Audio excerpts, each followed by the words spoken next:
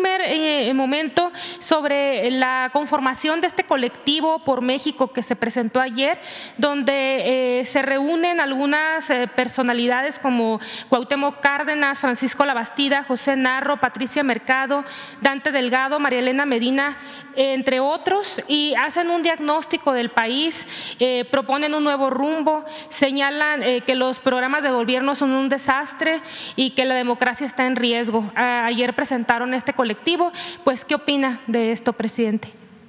Pues que están en su derecho de manifestarse, de agruparse y están pues eh, en contra de nosotros, de la transformación del país, de lo que estamos nosotros llevando a cabo con millones de mexicanos, pero están en todo su derecho de expresarse, de manifestarse.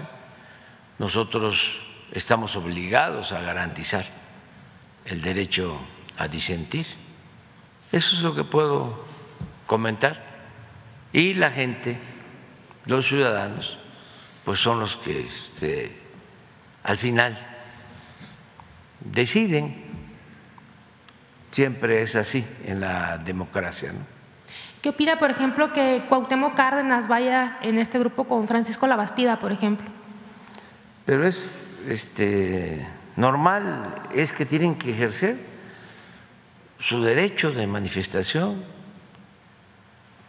y no están de acuerdo con nuestro proyecto de transformación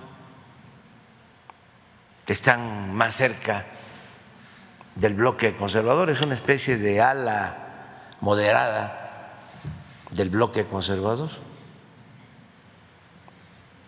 Pero así ha sido siempre cuando se lucha por un cambio verdadero, cuando no se opta por la simulación por el gatopardismo, eso que consiste en que las cosas en apariencia cambian para seguir igual, porque así era. Acuérdense de cómo querían establecer una especie de bipartidismo, PRI-PAN, haciéndonos creer de que eran distintos engañaron durante décadas a millones de mexicanos. Cómo las eh, organizaciones de la llamada sociedad civil o los grupos supuestamente independientes ahora pues se está llevando a cabo un cambio verdadero y eh, no les gusta. Por eso hablo de conservadurismo, porque son partidarios de mantener el statu quo.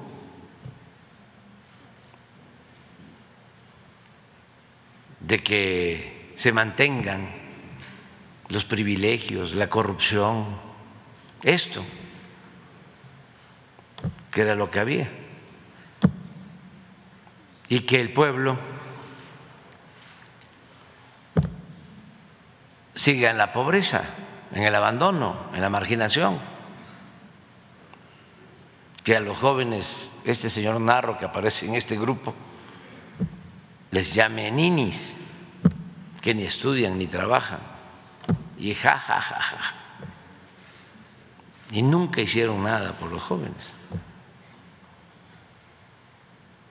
Entonces, vamos bien porque cada día que pasa hay más definiciones y es muchísimo mejor saber quiénes son realmente los adversarios que enfrentar a simuladores.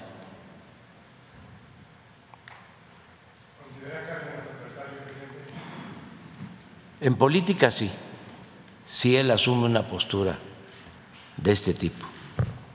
Lo estimo mucho, lo respeto, lo considero precursor de este movimiento, pero estamos viviendo en un momento de definiciones y esta ancheta está muy angosta, no hay para dónde hacerse.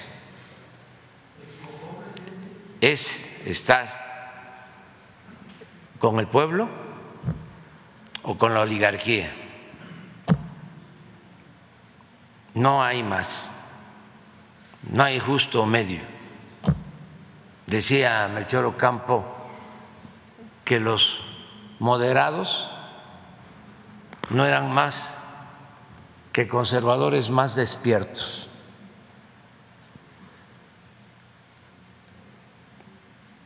Entonces, qué bien que se están dando estas cosas. Les comentaba yo ayer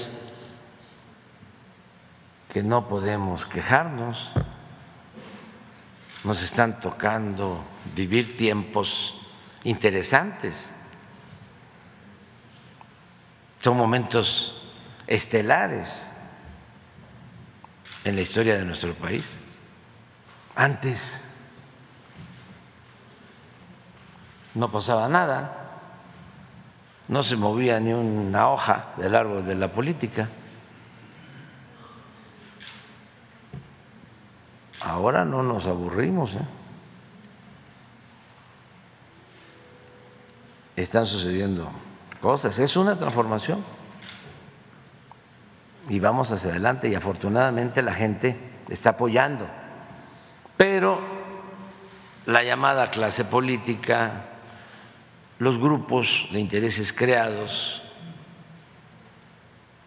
los que se sentían dueños del país, están molestos.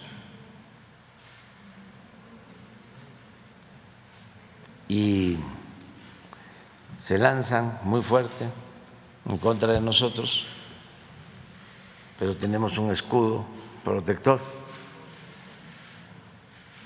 que es el pueblo de México, la mayoría de los mexicanos.